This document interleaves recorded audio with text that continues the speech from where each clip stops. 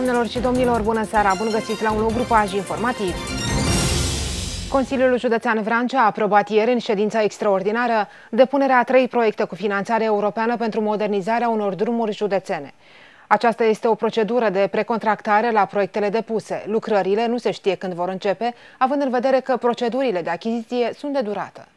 Consiliul Județean Vrancea a solicitat fonduri europene pentru reabilitarea mai multor drumuri județene. În ședința extraordinară de ieri s-au aprobat cu unanimitate de voturi proiectele de modernizare a infrastructurii rutiere pe drumurile județene de la limita cu județul Buzău, Voietin, Sihlea, Obrejița, Tâmboiești, Bordești. Un alt proiect a vizat modernizarea drumului Focșani, Golești, Vârteșcoiu, Odobești, iar ultimul proiect din această categorie aprobat s-a referit la drumul Dumbrăveni, Gugești, Popești, Urechești, Budești, Cotești, Blidari, Bonțești, Dălhăuți, Faraoanele, Râmniceanca, Beciu, Odobești. Data exactă când vor începe lucrările nu se știe, având în vedere că procedura de achiziție durează. Stimați colegi, două scurte chestiuni. Una ar fi legată de aceste aspecte ce țin de durată de execuție, 36 de luni, respectiv 42 de luni, de la un proiect la altul diferă evident, în funcție de cum s-au făcut proiectele și faptul că eșalonarea investiției este pe, pe, pentru o perioadă de 5 ani. În acest context, se estimează o dată de începere a lucrărilor, măcar estimativ, pentru că sunt convins că toți cei care lecturează zilnic uh, informațiile uh, de interes public își pun întrebarea când se vor începe lucrările la aceste drumuri, când se vor termina. Dacă există, dacă domnul director ne pot da detalii cu privire la aceste aspecte, măcar orientativ. La această dată suntem în etapa de precontractare. Estimăm că până la, uh, în perioada de maxim o lună vom semna contracte de finanțare cu autoritatea de management. Noi vom demara, chiar dacă nu sunt semnate încă contracte cu o clauză procedurile de achiziții de servicii publice pentru întocmirea proiectului tehnic. Este activitate prevăzută în graficul proiectului, după care urmează verificarea acestui proiect la, la Autoritatea Rutieră Română, la organismul intermediar și vom demara următoarea etapă achiziția publică de lucrări. Nu pot preciza că vor începe lucrările în 3 luni sau în 9 luni, dat fiind faptul că procedurile de achiziții durează și există prevederi legislative care permit oricărui participant la licitație să conteste, să uh, întârzie procedura. Dorința noastră este să începem cât mai repede lucrările. Dar precizez faptul că, deoarece a început cu întârziere, deși există financiarea 2014-2020 și începe efectiv în 2017, în discuțiile avute la Minister, la Autoritatea de Management, programul va avea extensie până anul 2023. Discuții au fost și cu privire la un alt drum pentru care este necesar să se obțină fonduri europene pentru construirea unui viaduct. Uh, un drum care trecea și prin Uracalții Dumitrești, din ce știu, am înțeles că nu a fost uh, acceptat. Dacă... Deocamdată. Deocamdată pentru că e uh, problema unui viaduct acolo care costă foarte mult și se punea, se punea problema dacă este eligibil sau nu. Dar avem, uh, uitați, domnul Iordache da. să vă dea explicații. Lista, deci Consiliul Județean figurează pe lista cu proiecte prioritare cu 5 proiecte. 3 se aprobă astăzi, al patrulea proiect este drumul județean DG 205R, Gologanul, Slobozia, Ciorăș, Cotești. Acest proiect este în stadiul de, uh, a fost verificat și, conform prevederilor ghidului solicitantului, uh, organismul intermediar și autoritatea de management contractează lucrările în limita la 120%. Cu valoarea acestui proiect, inclusiv la drumul județean DG 205R, Agenția de Dezvoltare Regională 2 Sud-Est Brăila contractează lucrări de 121%. Pentru un procent, deci un singur procent, Ministerul trebuie să emită un o hotărâre internă, o decizie a ministrului, care va aproba finanțarea cu un procent peste 120%. Deci estimăm că în maxim o săptămână, 10 zile, vom primi confirmarea și pentru cel de-al patrulea proiect, pentru drumul județean 205. Pentru drumul județean 204P, care este cel mai dificil drum, la evaluarea, la, la evaluarea administrativă, lucrările de viaduc pe zonele care sunt cu alunecări de teren sunt considerate, conform ghidului solicitantului, cheltuieli eligibile. Ar trebui să cadă în sarcina beneficiarului. Bugetul Unității Administrative Teritoriale Județul Vrancea nu poate suporta cheltuieli de jumătate din valoarea proiectului. Deci proiectul este estimat la 250 de milioane de lei, iar uh, valoarea viaductului este aproximativ 120 de milioane de lei. Conducătorii de motociclete au fost în vizorul polițiștilor de la Serviciul Rutier Vrancea la sfârșitul săptămânii trecute. Acțiunea a vizat motocicliștii care se abat de la regulile de circulație și care poluează fonic. Acțiunea s-a lăsat cu amenzi, un permis de conducere reținut și trei infracțiuni constatate.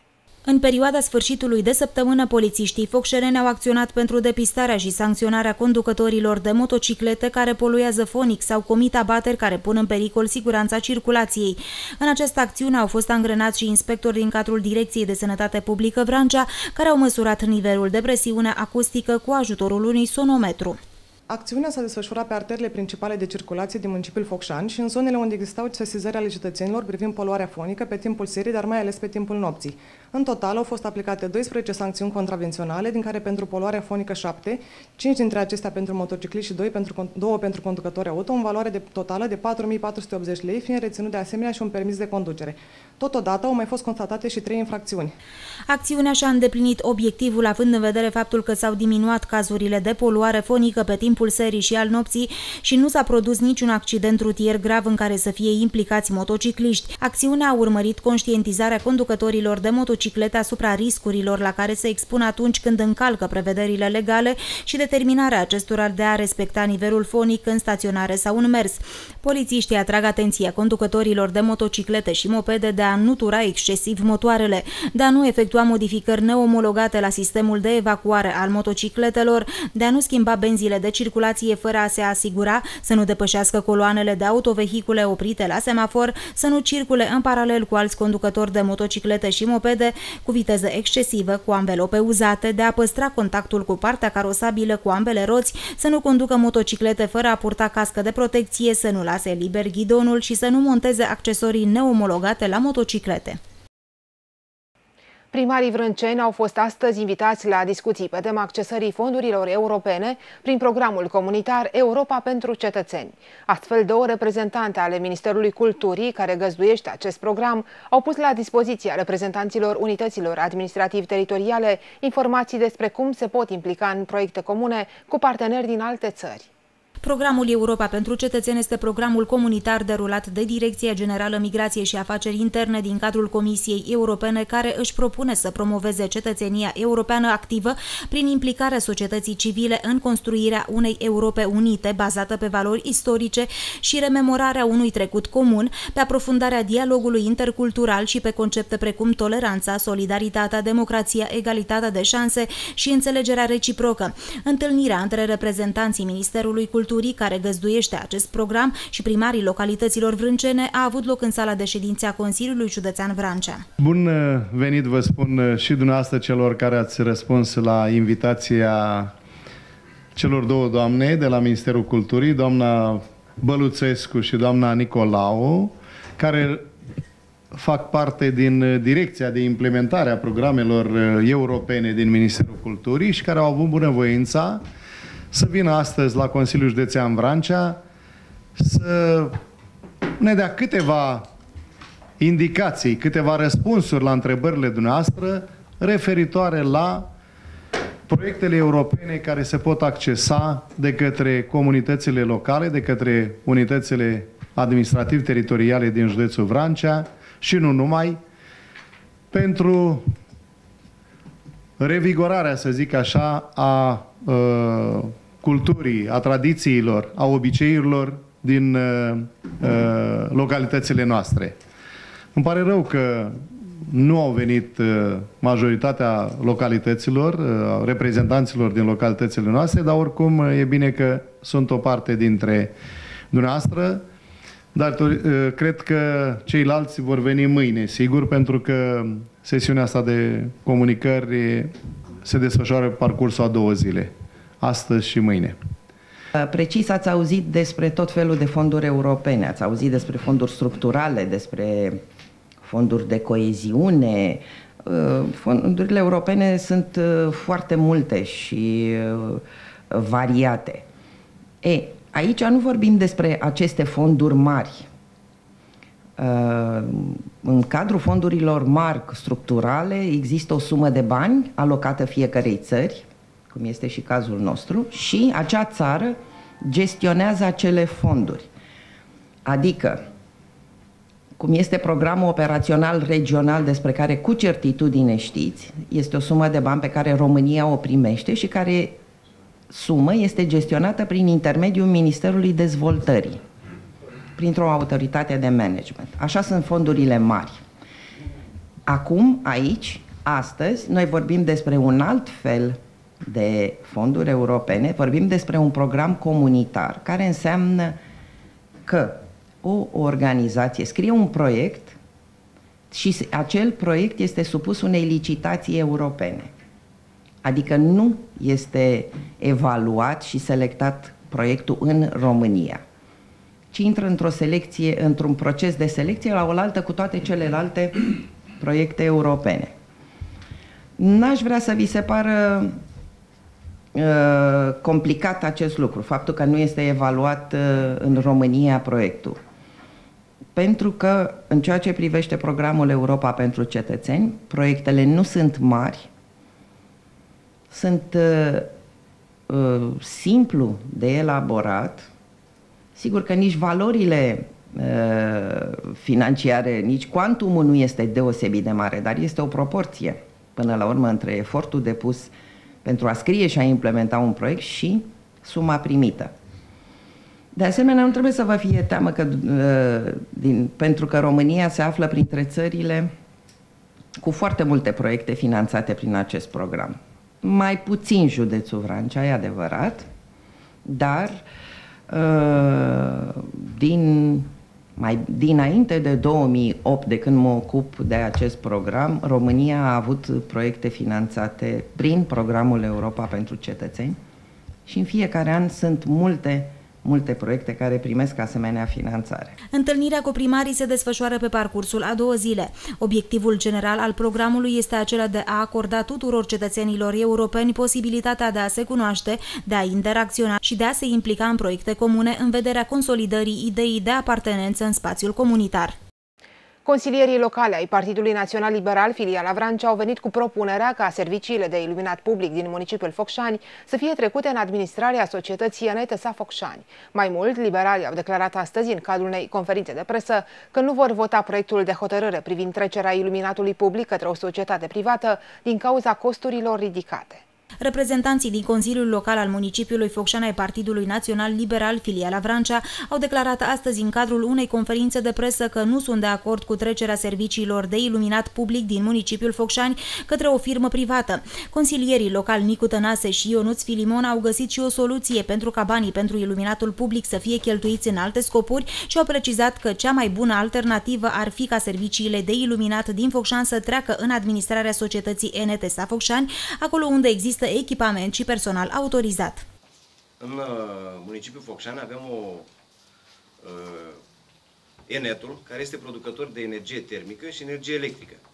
Acest serviciu de iluminat public, decât să-l uh, mute de colo-colo, să-l externalizeze, este bine să treacă la Enet, unde sunt specialiști, sunt oameni atestați, electricieni de toate categoriile și uh, cu această ocazie, uh, eu cred că decât să dea energie electrică în sistemul național, sau mă rog, se poate face un contract cu sistemul național să ajungă mai ieftină pentru populație.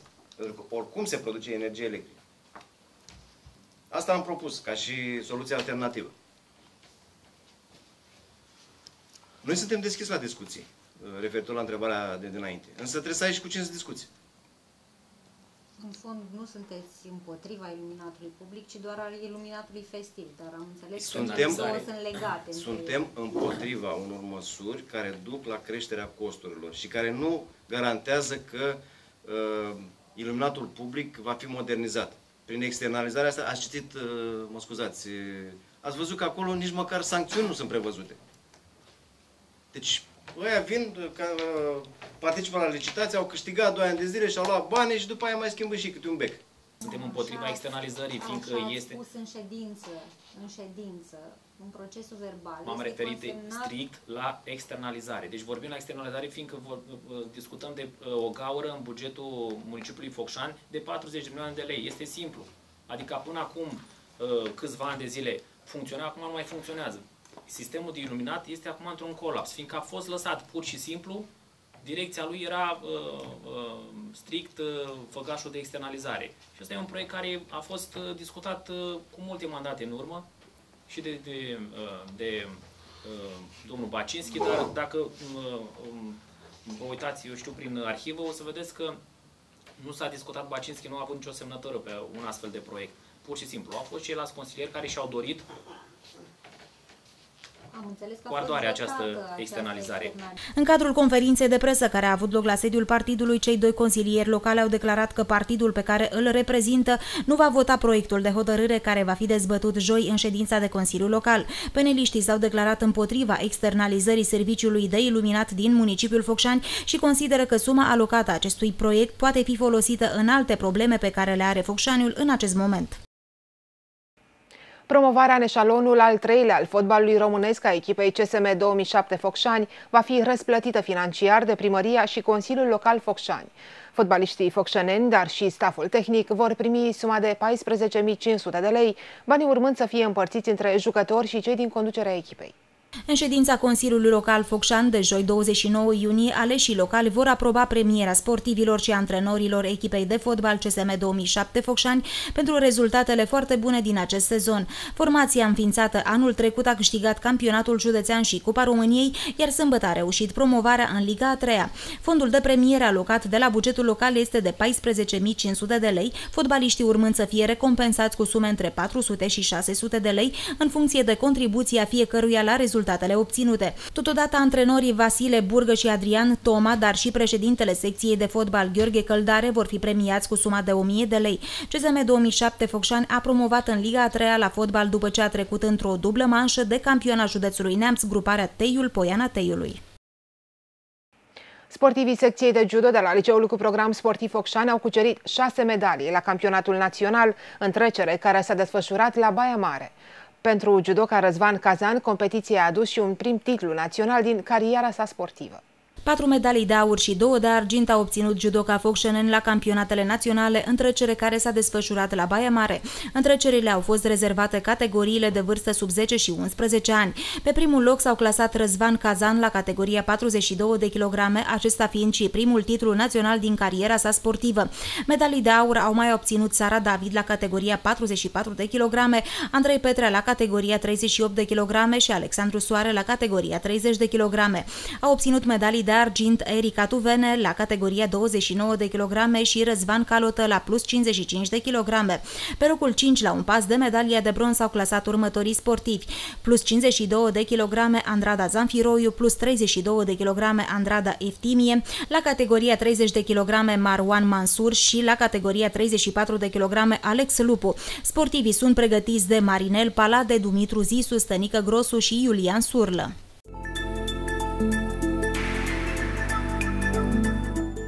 La final vă prezentăm prognoza meteo pentru următoarele 24 de ore. Vremea va fi frumoasă ca aspect, cerul va fi mai mult senin, vântul va sufla în general variabil. Temperaturile minime se vor încadra între 18 și 20 de grade Celsius, iar cele maxime între 29 și 31 de grade. Cu datele despre vreme, punem punct știrilor Atlas TV de astăzi. Vă mulțumim pentru atenție, să aveți parte de o seară cât mai frumoasă. La revedere!